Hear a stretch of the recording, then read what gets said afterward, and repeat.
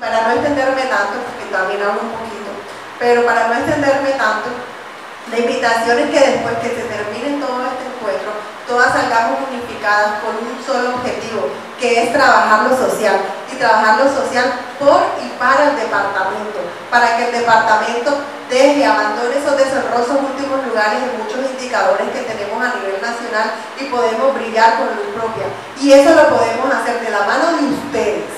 nosotras, las gestoras sociales, también apoyando a nuestros esposos y para que ellos también nos coayuden para poder hacer la unión y obviamente con el gobierno departamental y a su vez con el gobierno nacional. Lo que le decía a mi esposo, la, la invitación se la extendimos a la vicepresidenta, ese es cierto, pero lamentablemente por estos temas de agenda no nos pudo acompañar, pero ella nos envía también un saludo diciéndole, es más, le solicitamos ya una cita, que de aquí también tenemos que pactar en qué momento, yo les estaré avisando cuando nos agenden esa cita para ver cuáles, si vamos todas, que no sería lo ideal, y todas las historias del Magdalena a ese encuentro con las conclusiones de lo que, de lo que hoy aquí hagamos. Entonces, bienvenidos, estoy muy contenta, estoy muy feliz, no quiero terminar sin saludar a la personera del municipio, al sacerdote también que nos está acompañando,